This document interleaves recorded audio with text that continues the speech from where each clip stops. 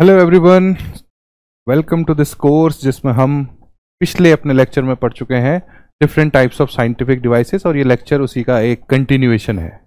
इससे पहले हम साइंटिफिक डिवाइसेस के पहले लेक्चर में जिन साइंटिफिक डिवाइसेस के बारे में पढ़ रहे थे दो scientific devices are somewhat use in our daily life और इन वन वे और the other they are use by some industries which affect our life in scientific devices में हमने जिन चीज़ों को पढ़ा था, उसमें फ़र्स्ट साइंटिफिक डिवाइस जो हमने देखी थी that is altimeter which will determine the altitude of any object इसको कैसे हम समझ सकते हैं, वो सब कुछ पिछले लेक्चर में कवर किया जा चुका है। यहाँ पर आपको ऑल्टीमीटर की इंटरनल जो फंक्शनिंग है, उसके बारे में बताया गया था। उसके बाद हमने बैरोमीटर के बारे में पढ़ा। Barometer which is use to measure the atmospheric pressure what is atmosphere and what kind of pressure atmosphere exert on us is discussed in our previous lecture.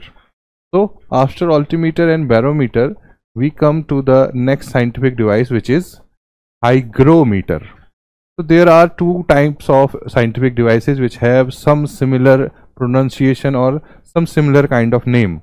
One is hygrometer and another one is hydrometer as far as hygrometer is concerned, it is used to measure the humidity in the air. So the relative humidity of atmosphere is measured by that device which is known as hygrometer and after hygrometer we have discussed about hydrometer as well.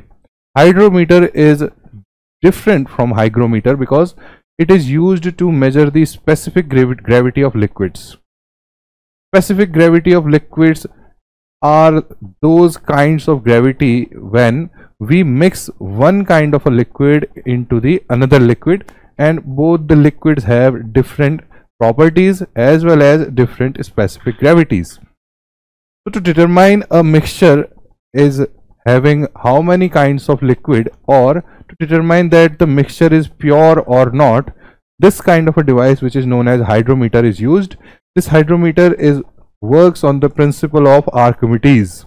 So Archimedes principle is also discussed in our previous lecture and thus we have discussed about this device which is known as hydrometer and after hydrometer we also discussed briefly about the lactometer which is a kind of hydrometer but it is used to measure the purity of a liquid which is milk milk की purity को determine करने के लिए हम lactometer को use करते हैं, जो एक तरीके का हाइड्रोमीटर ही है। इसके बारे में भी पिछली क्लास में हमने डिस्कस कर लिया था and now after lactometer we will discuss about fathometer as the next scientific device what is fathometer here you can see we have return depth of ocean it means This scientific device is used to measure the depth of ocean. It measures depth of the water or most of the cases it is used as to measure depth of ocean. This measurement is based on some principle or some kind of method. That method is by the time required for a sound wave to travel from surface to bottom and for its echo to be returned. क्या आप समझते हैं हम इस चीज़ से? Fathometer किसी भी ocean की डेफ्थ के बारे में हमें कैसे बताता है? तो suppose there is a vessel ये एक नाव है या एक शिप है, आप समझ सकते हैं, जिसमें एक फैदोमीटर लगा हुआ है। ये फैदोमीटर जब ये शिप पानी में है, तब देखता है कि किस तरीके से जो साउंड यहाँ से ट्रेवल करके भेजी जाती है बॉटम में, यानी कि इधर से एक साउंड ओशन की डेप्थ तक भेजी जाती है। तो साउंड को एक खास समय लगता है ओशन की डेप्थ तक पहुँचने में। After reaching the ocean depth यानी कि जो लास्ट पॉइंट है, वहाँ से फिर साउंड वापस एको करते हुए आती है और फिर से फेदोमीटर पे कैप्चर कर ली जाती है। तो by that method we determine the depth of the ocean because we know what is the velocity of sound और the speed of sound is constant if speed is determined and we know how much time it takes to travel and come back so time is also determined. In this case we have speed we have time already. Because the speed of sound is a constant thing which never changes. So we have already the value. The time taken by the sound wave to travel and come back is also known by us because we measure how much time it takes to come back. So in that sense we have speed which has a formula like this speed equals to distance upon time we have speed here we have time here we have speed here we have time here कैसे है हमारे पास speed क्योंकि sound की जो speed होती है वो constant होती है जैसे कि लाइट की स्पीड होती है तो हमारे पास साउंड की स्पीड के बारे में पहले से जानकारी है उसके बाद हमें कितना टाइम लगा इस साउंड को जा करके वापस आने में उसके बारे में पता है तो हम इजीली डिस्टेंस को निकाल सकते हैं। Two known things can determine the third unknown thing तो यहाँ पर इस फॉर्मूले में अगर हमें डिस्टेंस पता करनी है तो डिस्टेंस को अकेला कर दीजिए और स्पीड और टाइम को एक तरफ़ ले आइए। तो टाइम जब इस तरफ़ जाएगा इक्वल्स टू के तो वो अपॉन में है। अभी वहाँ पर जाकर वो मल्टीप्लाई हो जाएगा। ये प्रॉपर्टी मैथ से रिलेटेड है, आपको इसके बारे में पता होगा। तो ultimately what will be the distance distance will be speed which is already determined multiplied by time which we measure अब जो टाइम हमने लिया है, वो साउंड को पैदोमीटर से लेकर के ओशन की डेप्थ तक जाने में जितना समय लगा, और उसके बाद ओशन की डेप्थ से वापस पैदोमीटर तक आने में जितना समय लगा वो है। इसका मतलब जो टाइम है वो दो बार हमने कैलकुलेट किया है बिकॉज़ ये दो तरीके से डिस्टेंस को बता रहा है। एक बार साउंड अंदर ट्रेवल कर रही है और उसको जितना टाइम लगा है और एक बार साउंड वहाँ से वापस आ रही है और उसको जितना टाइम लगा है। दोनों ही मामलों में दो बार आप ओशन की डेफ्थ को मेजर कर चुके हैं with the help of sound तो इस जो टाइम जो हमें मिला है, इस टाइम को हमें हाफ़ करना पड़ेगा। जब हम इस टाइम को हाफ़ कर देंगे तो अल्टीमेटली जो डिस्टेंस हमें मिलेगी, वो होगी उस ओशन की डेप्थ और अगर हम टाइम को हाफ़ नहीं करेंगे तो दो बार हम एक बार जाने में और एक बार आने में जो टाइम लगा है, उसको रखते हुए उस डिस्टेंस को मेजर कर लेंगे जो डबल है। या तो आप डिस्टेंस जो आती है, उसे बाई टू डिवाइड कर दीजिए। अगर ऐसा नहीं है तो फिर आप टाइम को हाफ़ ले लीजिए। जितना भी टाइम आपको लगता है यहाँ से इस वेव को नीचे भेजने और फिर वापस आने में, उस टाइम को आधा कर दीजिए। स्पीड ऑफ़ साउंड से मल्टीप्लाई कर दीजिए। अल्टीमेटली जो आपको फिगर मिलेगा वो उस जगह की डेफ्थ है। और इस तरीके से फैदोमीटर किसी भी वाटर बॉडी या किसी भी ओशन की डेप्थ को बता सकता है।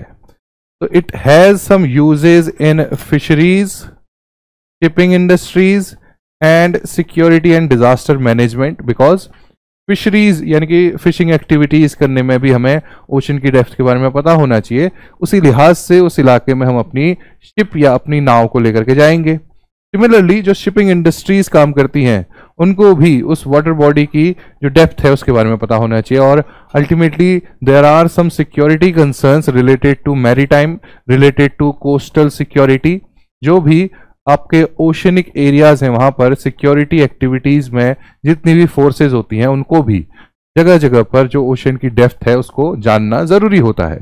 और इस तरह से इसका एक यूज़ आपको सिक्योरिटी में भी देखने को मिलेगा डिजास्टर मैनेजमेंट में भी देखने को मिलेगा। क्योंकि ओशन और ओशनिक वेव्स के थ्रू जब कोई डिजास्टर आते हैं तो हमें बहुत सारे डेटा की भी ज़रूरत होती है। उसमें ओशन की डेप्थ का पता होना भी एक एडेड एडवांटेज बनाता है। तो इस तरीके से हमें फैदोमीटर के बारे में पता चलता है और ये कैसे ओशन की डेफ्थ को मेजर करता है वो भी हमने समझ लिया। ज़्यादा से ज़्यादा आपसे एग्ज़ाम में पूछा जा सकता है कि which scientific device is use to measure the depth of ocean and the answer would be fathometer among the other option तो चार ऑप्शन में से जिस ऑप्शन में आपको फैदोमीटर लिखा हुआ दिखेगा, उसे ही आपको चूज़ कर लेना है।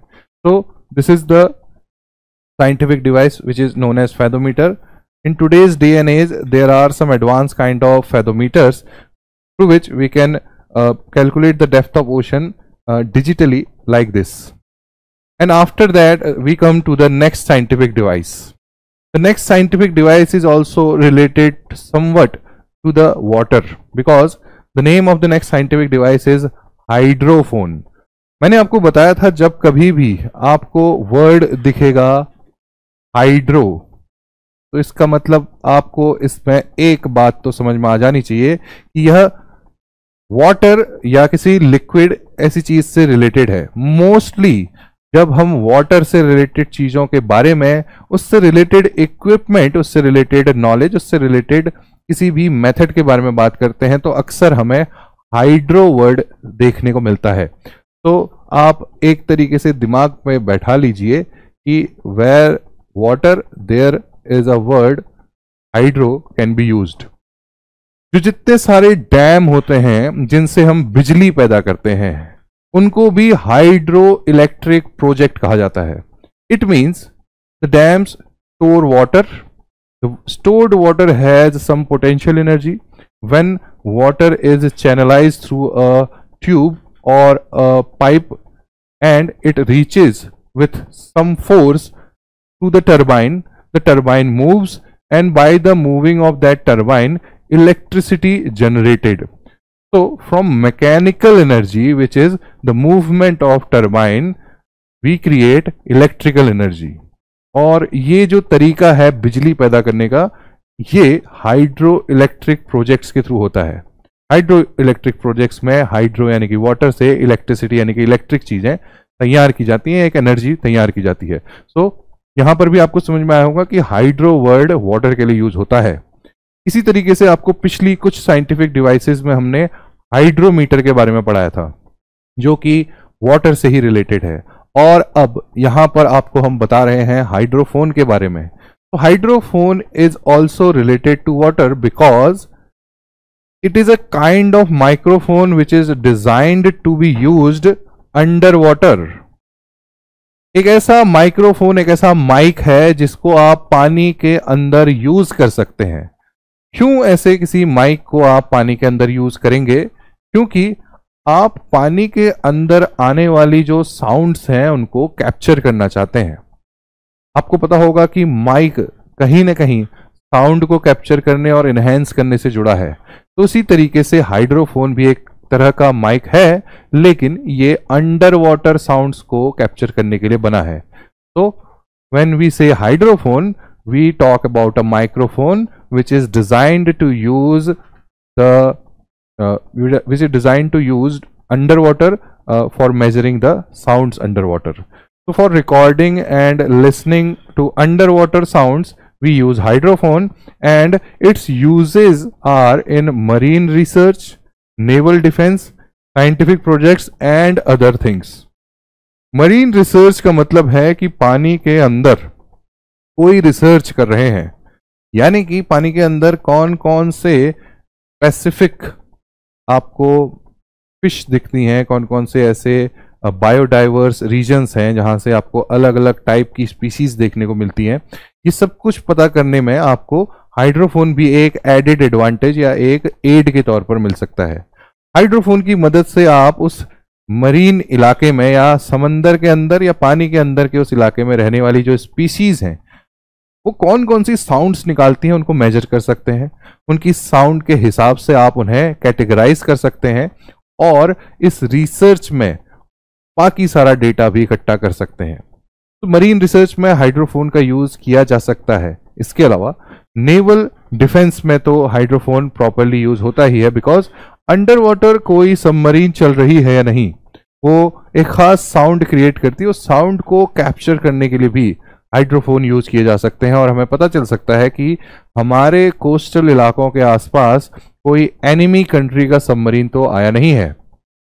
इसके बाद इसका यूज़ साइंटिफिक प्रोजेक्ट्स में तो होता ही है और यह है हाइड्रोफोन का प्रॉपर यूज़ यहाँ पर आप एक वाटर एनिमल या फ़िश या फिर डॉल्फिन जैसे किसी मैमल को देख सकते हैं और ये है हाइड्रोफोन जिसमें कि इसकी साउंड कैप्चर की जाती है। So this is a beautiful picture which depicts about the hydrophone uses and here we see the application of hydrophone in this diagram there is a chain which is linked with anchor. It means it make a stable contact with the ocean floor. Ocean की surface पे एक hook या एक anchor गाड़ दिया जाता है। वहाँ से एक वायर निकाल करके इस तरीके से ऊपर फ्लोट की जाती है। This is a flotation device ये फ्लोटेशन डिवाइस इसको हमेशा ऊपर की तरफ़ ही रखती है। और यहाँ पर बीच में लगा रहता है ऑटोनोमस हाइड्रोफोन यानी कि हर एक चीज़ से अलग अपने आप में साउंड कैप्चर करने के लिए बनी हुई जो डिवाइस है, वो इस तरीके से ओशन की सरफेस पर एक खूंटी गाड़ करके वायर के रास्ते एक फ्लोटिंग डिवाइस लगा करके आप उसे यूँ समंदर में नीचे से ऊपर की तरफ़ लहराते हुए देख सकते हैं। इसी डिवाइस में बीचों बीच कहीं लगा होगा हाइड्रोफोन ये हाइड्रोफोन चेक करेगा ओशन के अंदर आने वाली साउंड्स को। तो if there is a ship going on on the surface of that ocean तो उससे निकलने वाली जो साउंड्स हैं, उनको भी अल्टीमेटली ये हाइड्रोफोन कैप्चर करेगा। If there is any biological being in the vicinity of that area तो उसने भी जो साउंड जनरेट की हैं, उनको भी ये हाइड्रोफोन कैप्चर करेगा और ओशन से उठने वाली जो वेव्स हैं, उनको भी ये हाइड्रोफोन कैप्चर करेगा। तो इस तरीके से हाइड्रोफोन का यूज़ आप देख सकते हैं। हाइड्रोफोन के बाद सीधे सीधे हम पहुँचते हैं माइक्रोफोन की तरफ़। ये अंडर वाटर नहीं, ये पानी के बाहर यूज़ किया जाता है और इसमें एक खास बात होती है कि it converts the sound waves into electrical vibrations हम जो कुछ बात करते हैं, जैसे कि ये माइक है it is an example of microphone मेरे मुँह से जो साउंड निकल रही है, उस साउंड को ये कैप्चर कर रहा है और कन्वर्ट कर रहा है इलेक्ट्रिकल सिग्नल में। बाद में इन इलेक्ट्रिकल सिग्नल्स को ही इनहेंस किया जा सकता है या सप्रेस किया जा सकता है या मॉडिफाई किया जा सकता है, जिसके थ्रू एक आवाज़ आपको सबसे बेहतर तरीके से सुनाई जा सकती है। तो माइक्रोफोन का काम है साउंड को कैप्चर करके इलेक्ट्रिकल वाइब्रेशन में बदलना और उस इलेक्ट्रिकल वाइब्रेशन में मॉडिफिकेशन करके लास्ट में स्पीकर के थ्रू आपको वही साउंड बेहतर तरीके से सुनाना। This is the use of microphone and it also use to magnify sound जो कि हम जानते ही हैं। किसी भी तरीके से आप बोलिए माइक में आपकी आवाज़ एनहेंस और मैग्नीफाई होकर के बड़े लेवल पर सुनी जा सकती है। तो ये यूज़ है माइक्रोफोन का और माइक्रोफोन की डिवाइस कुछ इस तरीके से काम करती है। आप इसे एक माइक्रोफोन समझिए, इसके बाहर। ऐसे कुछ माइक होता है। तो माइक यहाँ से होल्ड करेंगे, वहाँ से बोलना शुरू करेंगे। जब आप यहाँ से बोलते हैं तो यहाँ से साउंड एंटर करती है। And it enter in the point one जो कि है साउंड वेव के ट्रेवल करने का रास्ता। इस पूरे सिस्टम से होते हुए साउंड यहाँ पर जो नॉइजेज हैं एक्सटर्नल उनको थोड़ा कम करने का काम किया जाता है। इस तरीके की कुछ चीज़ें लगी होती हैं। अल्टीमेटली ये पहुँचती है कैसे? सर्किट में। जो सर्किट डिज़ाइन किया गया है साउंड को कैप्चर करने के लिए। तो ये है इसका मेन डायाफ्राम इसे डायाफ्राम कहते हैं। डायाफ्राम में साउंड जाती है और एक इलेक्ट्रिकल सिग्नल के थ्रू इस पूरे सर्किट में बहने लगती है। उसके बाद एक ब्लैक प्लेट इसके चारों ओर आपको देखने को मिलती है, जो साउंड को एकदम आइसोलेट कर देती है बाकी सारे नॉइजेस से, यानी कि जो सिंगल सबसे बड़ी साउंड हमें माइक के थ्रू मिल रही है, क्योंकि जो आदमी बोलता है वो माइक को अपने पास रखता है, और इसके अलावा जो बाकी लोगों की आवाज़ें हैं वो माइक से थोड़ा दूर होती हैं। इसलिए माइक में जो साउंड सबसे ज़्यादा एंटर करती है वो बोलने वाले की होती है, और जब वो बोलने वाला इस साउंड को माइक के थ्रू एंटर करवाता है तो यहाँ पर डायफ्राम में पहुँचने के बाद एक ब्लैक प्लेट से ये गुजरती है, जिसमें सिर्फ़ जो सबसे बड़ी साउंड यानी कि माइक के सबसे पास से आने वाली जो साउंड है, वो क्रिएट की जाती है एक इलेक्ट्रिकल सिग्नल के माध्यम से। यहाँ पर कुछ बैटरीज लगी होती हैं, आपको जब भी माइक यूज़ करना होता है, आपको माइक को ऑन करना होता है, क्योंकि ये बैटरीज तभी काम करती हैं। और यहाँ पर लगा होता है एक रेसिस्टर जो कि इलेक्ट्रिक सर्किट में बहने वाले इस इलेक्ट्रिक करंट को थोड़ा बहुत मैनेज करता है, जिसकी वजह से साउंड को कंट्रोल किया जा सकता है जब भी वो इलेक्ट्रिकल सिग्नल में बदलती है। और लास्ट में यहाँ से एक आउटपुट गेन किया जाता है। यहाँ से एंटर हुई थी जो चीज़, वो थी साउंड और जो अल्टीमेटली बाहर निकलेगी यहाँ से चीज़, ये होगी एक इलेक्ट्रिक सिग्नल इस इलेक्ट्रिक सिग्नल को फिर लास्ट में एक स्पीकर में पहुँचाया जाता है, उस स्पीकर में उस इलेक्ट्रिक सिग्नल को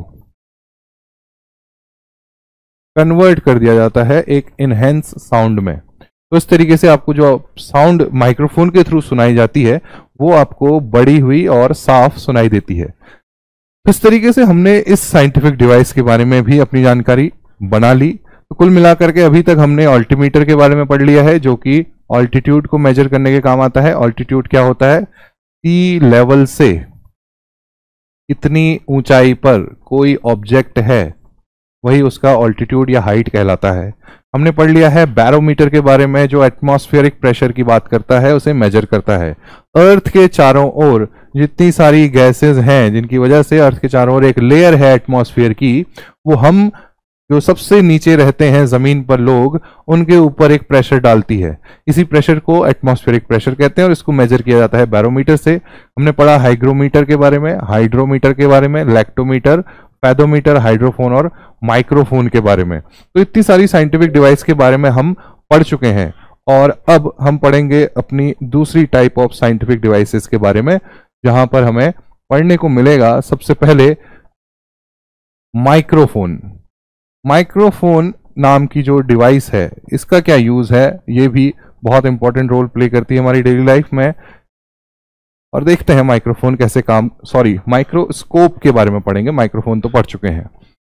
माइक्रोस्कोप का यूज़ है it is a laboratory instrument which is use to examine objects that are too small to be seen by naked eyes खुली आँखों से ऐसे ऑब्जेक्ट्स जो हम नहीं देख सकते क्योंकि वो बहुत ज़्यादा स्मॉल हैं, उन ऑब्जेक्ट्स को देखने के लिए जिस डिवाइस का हम यूज़ करते हैं, वह है माइक्रोस्कोप माइक्रो यानी कि बहुत माइन्यूट या बहुत छोटा, जहाँ कहीं पर भी माइक्रो वर्ड यूज़ होता है, हम स्मॉल माइन्यूट ऐसी चीज़ों के बारे में बात कर रहे हैं।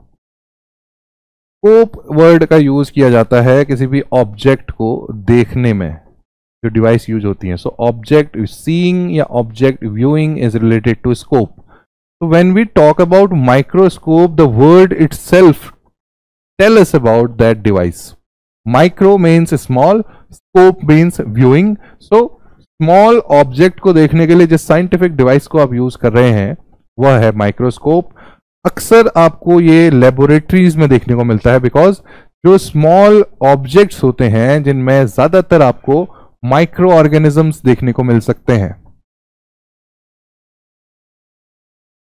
These micro organisms can not be seen by the naked eyes bacterias viruses protozoas fungi etcetera आपको क्लोजली ऑब्ज़र्व करने होते हैं लैब में बिकॉज़ जब आप उन्हें क्लोजली ऑब्ज़र्व करते हैं, तभी आप उनका कैसे यूज़ करना है, उनसे क्या हार्म है, उन सब के बारे में पता कर सकते हैं।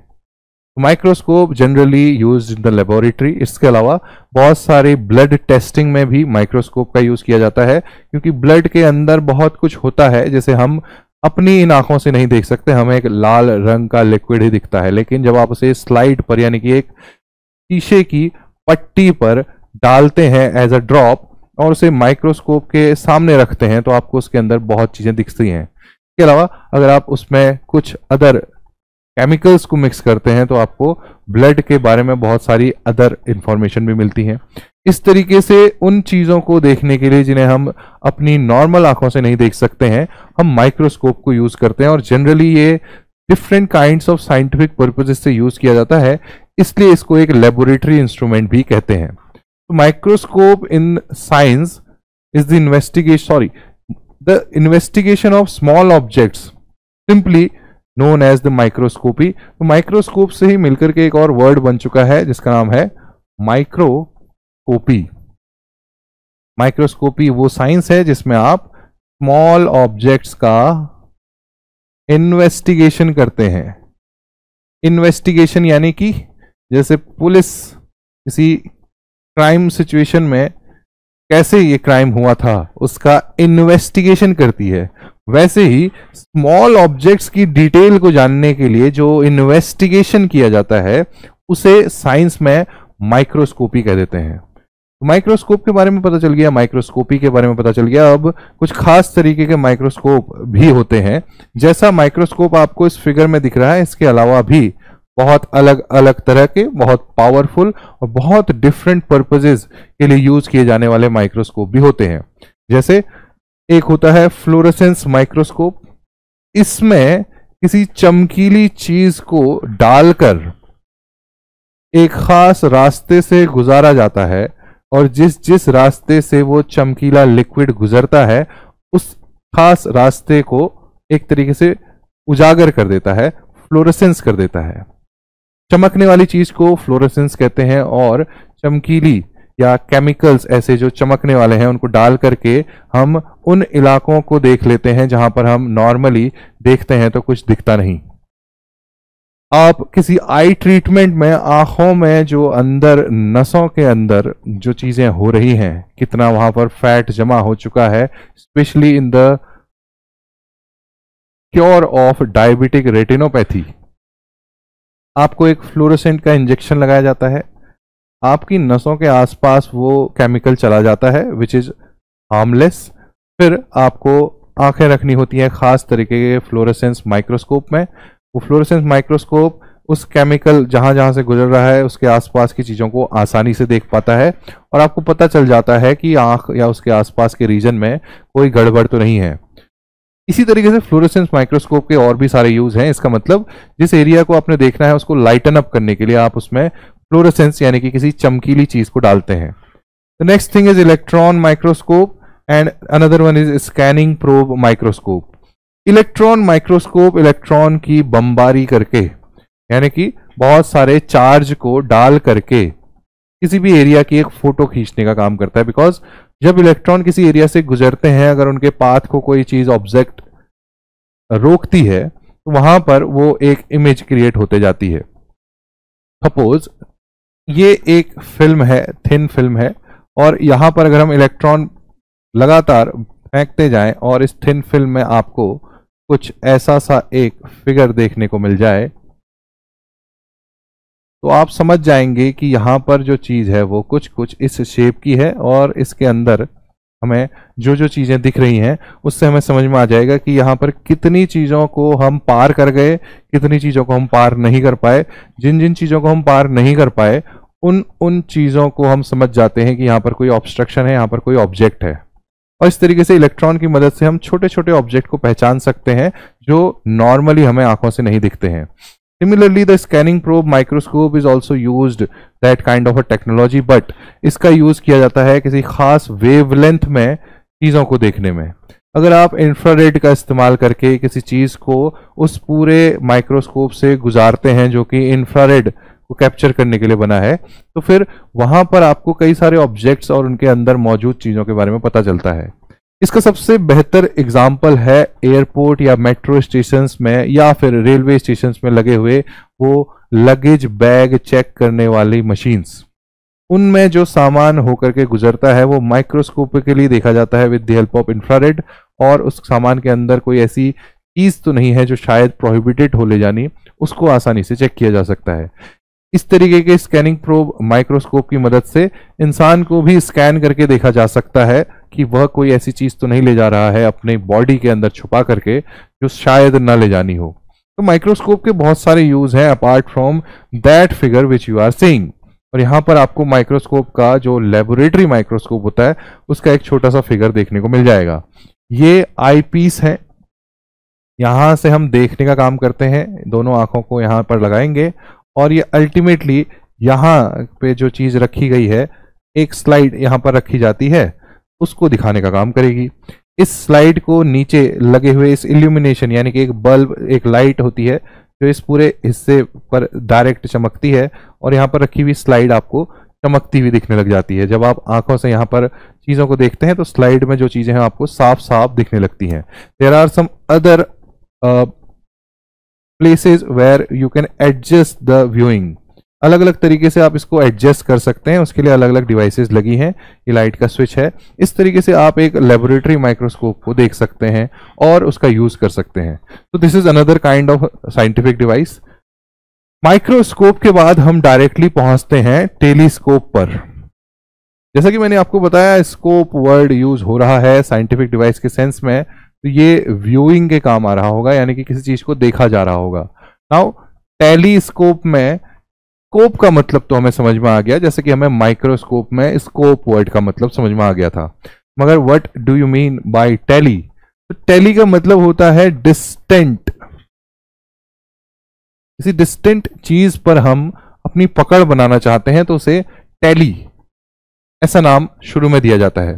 अगर आप किसी दूर बैठे इंसान तक अपनी आवाज़ पहुंचाना चाहते हैं और उस दूर बैठे इंसान की आवाज़ खुद सुनना चाहते हैं तो आप एक डिवाइस का यूज़ करते हैं, उसे टेलीफोन कहते हैं। हालाँकि आजकल मोबाइल फोन्स भी आ चुके हैं but mobile phone is also a kind of telephone which is wireless and which can be mobile means वो एक जगह से दूसरी जगह चलते चलते भी यूज़ किया जा सकता है। टेलीफोन जो ट्रेडिशनली हम यूज़ किया करते थे, वो वायर से कनेक्टेड रहते थे, और उनको आप एक जगह खड़े होकर ही सुन सकते हैं, या फिर जहाँ तक वायर खींच कर ले जाई जा सकती है, वहाँ तक आप टेलीफोन का यूज़ कर सकते हैं। लेकिन आज के समय में साइंस ने एडवांसमेंट कर लिया, और मोबाइल फोन्स और स्मार्टफोन्स का दौर आ गया। तो अब वायर से हमें बात करने की ज़रूरत नहीं होती है, हम जस्ट बाई अ सिग्नल और अ नेटवर्क बातें कर सकते हैं। लेकिन दूर बैठे किसी इंसान से अगर आप बातें कर रहे हैं तो आप टेलीफोन यूज़ कर रहे हैं। यहाँ पर टेली का मतलब आप समझ चुके होंगे, दूर की चीज़ों से रिलेटेड है। Somehow it is related to some distant things इसी तरीके से यहाँ पर जो टेली है, ये भी दूर की चीज़ों को स्कोप यानी कि देखने से जुड़ा हुआ है। तो what is the use of telescope आप सब जानते ही हैं।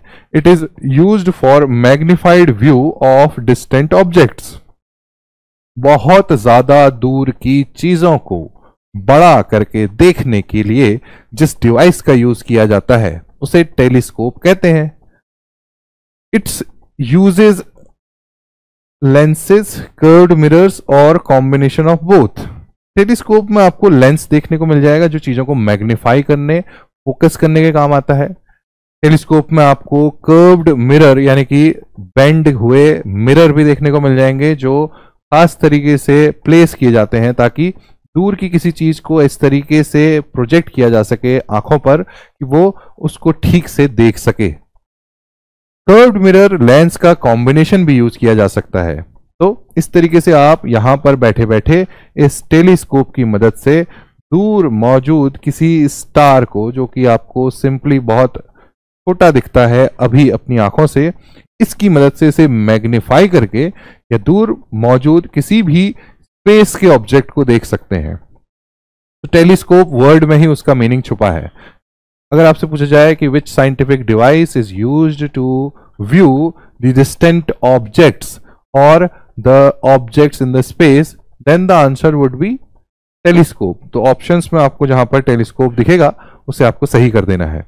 जैसे हमने माइक्रोस्कोप के बारे में पढ़ा कि there are many types of microscope वैसे ही हम जानते हैं there are many types of telescope as well तो जो टेलीस्कोप आप यहाँ पर देख रहे हैं, ये एक सिंपल जनरल टेलीस्कोप है, मगर आज के समय में जब हम स्पेस रिसर्च और एस्ट्रोनॉमी में बहुत आगे बढ़ चुके हैं तो हमारे पास अलग अलग टाइप के बहुत सारे टेलीस्कोप्स हैं।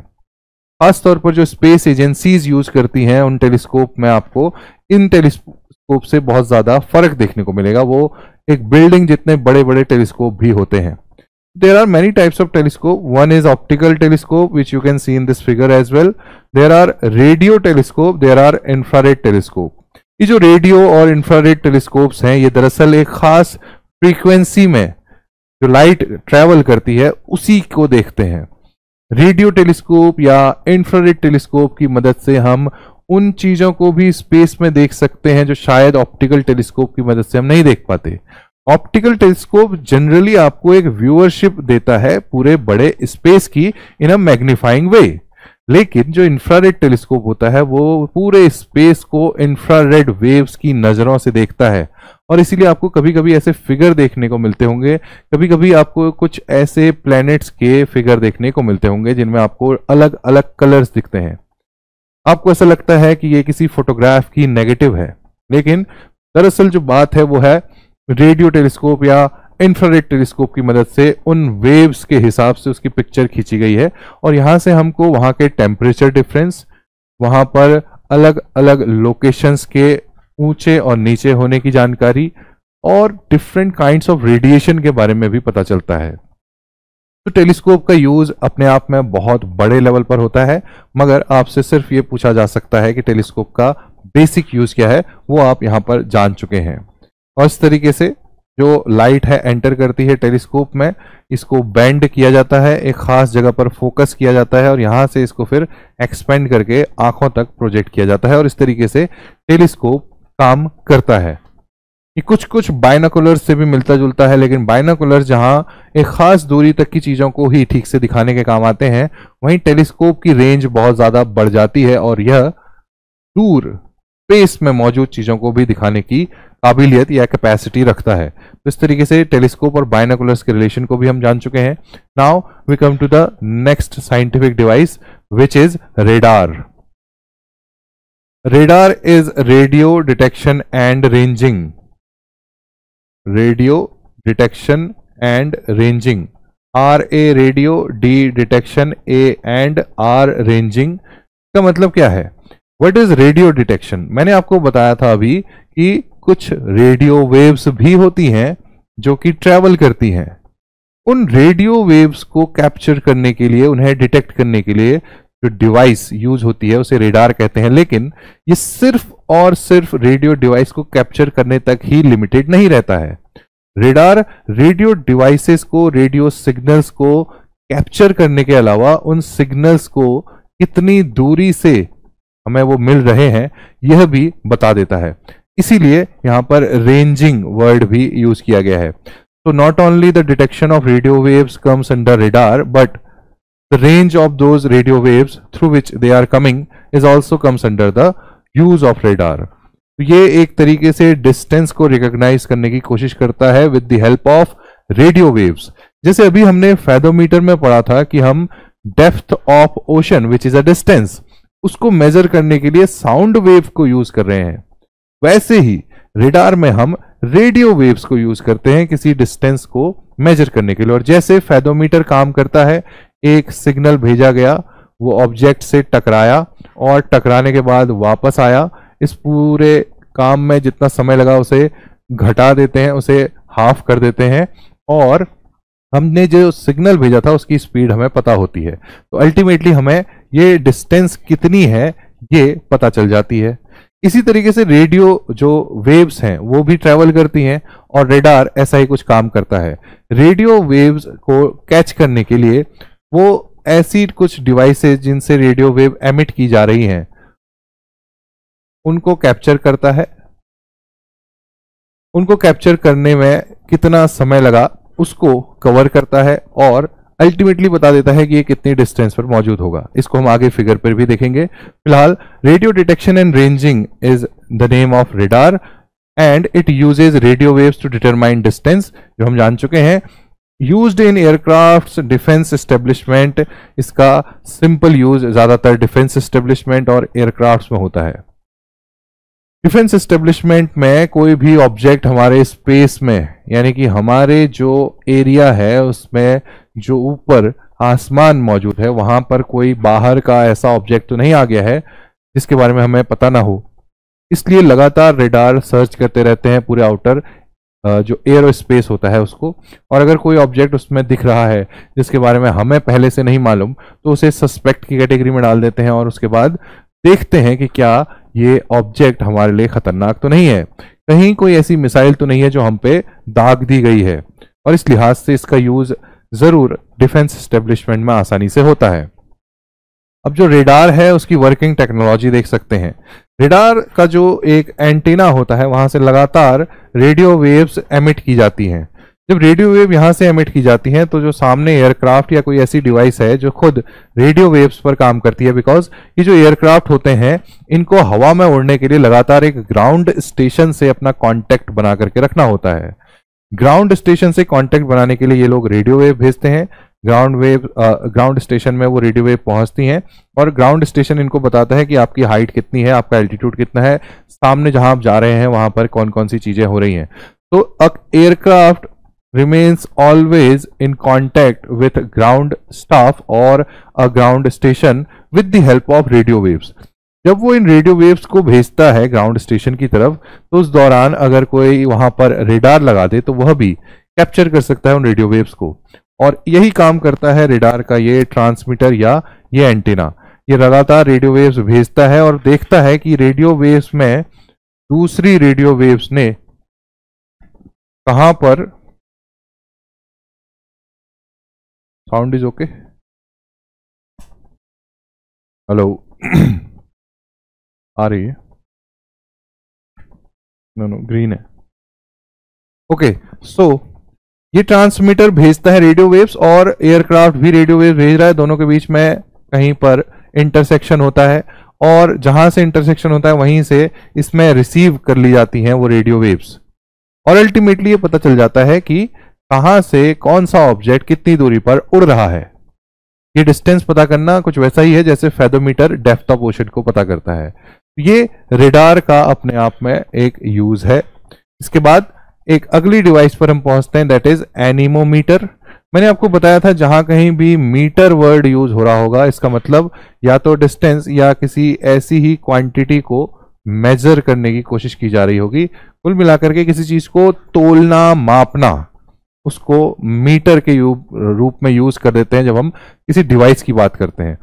Although metre is in itself a unit of distance, but जब हम साइंटिफिक डिवाइसेस की बात कर रहे हैं तो वहाँ पर अगर आपको डिवाइस के लास्ट में मीटर लिखा हुआ दिख रहा है तो आप कुछ खास चीज़ मेजर करने वाले हैं। हो सकता है आप प्रेशर, हो सकता है आप डिस्टेंस, हो सकता है आप स्पीड, या किसी ऐसी ही चीज़ को मेजर कर रहे हो। तो यहाँ पर एनिमोमीटर किस चीज़ को मेजर करेगा, इसका सिग्नल हमें मिल जाएगा एनिमो वर्ड्स के मीनिंग में।